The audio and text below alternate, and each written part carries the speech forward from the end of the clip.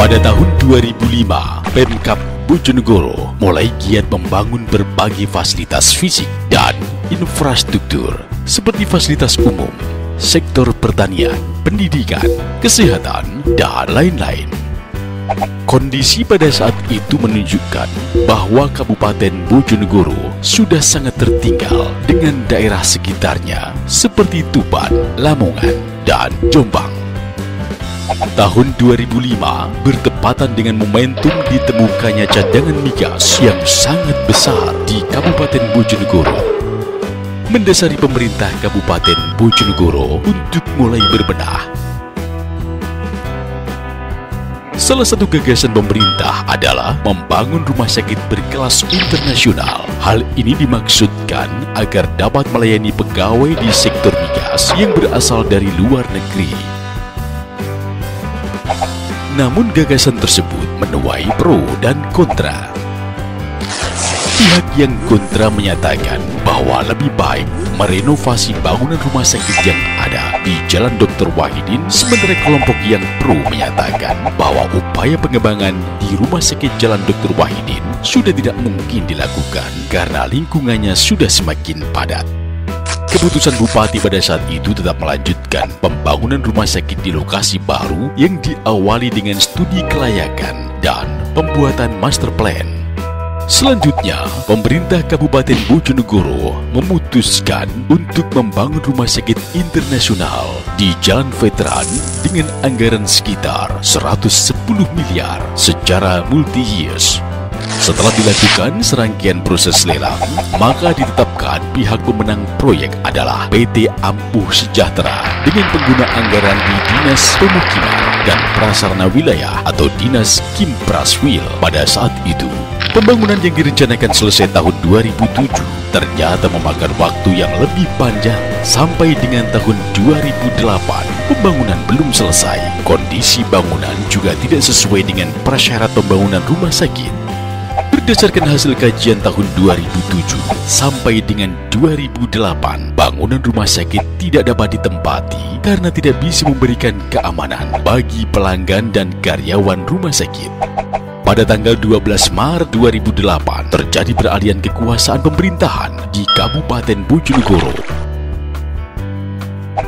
Sebagai langkah awal, Bupati membentuk tim kajian rumah sakit. Tugas tim adalah melakukan kajian yang lengkap terhadap kondisi bangunan rumah sakit dan hasil kajian tim menyatakan bahwa rumah sakit belum layak untuk dioperasionalkan.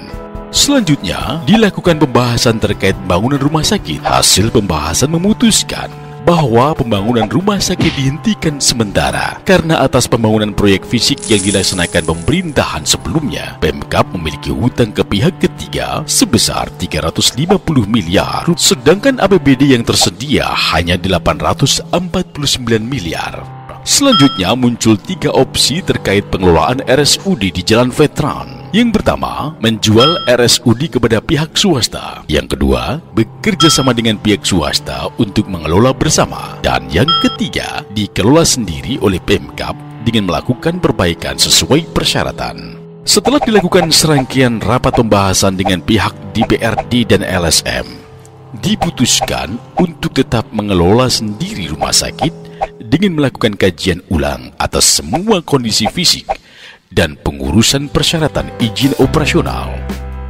Mulai tahun 2013 hingga tahun 2016 atas perintah Bapak Bupati, maka Dinas Pekerjaan Umum melakukan proses perbaikan sesuai Permenkes nomor 56 tahun 2016 tentang klasifikasi dan perizinan rumah sakit. Beberapa hal yang harus dipenuhi dalam rangka pengelolaan rumah sakit secara mandiri adalah yang pertama, pemenuhan peralatan medis, penunjang medis, dan non-medis, penambahan SDM secara bertahap, persyaratan izin operasional, Menindaklanjuti perintah Bapak Bupati untuk mempercepat upaya relokasi, maka pada tanggal 14 Januari 2016 diselenggarakan rapat lintas sektor yang dipimpin oleh Bapak Sekda. Pada acara tersebut, Bapak Sekretaris Daerah menegaskan bahwa pada tahun 2016 ini, rumah sakit secara bertahap harus segera pindah ke bangunan rumah sakit di Jalan Veteran Sementara itu bangunan RSUD di Jalan Dr. Wahidin akan tetap dioperasionalkan sebagai tempat pelayanan kesehatan. Pembelajaran yang dapat dipetik dari pembangunan RSUD di Jalan Veteran adalah yang pertama, pelaksanaan pembangunan haruslah berasal dari kebutuhan, kondisi daerah, dan ketersediaan sumber daya. Yang kedua, perencanaan, pelaksanaan dan pengawasan suatu kegiatan harus dilakukan dengan tepat dan komprehensif dan sesuai dengan ketentuan perundang-undangan. Dan yang ketiga, membangun rumah sakit memiliki kebutuhan teknik yang spesifik sehingga harus melibatkan SDM yang profesional.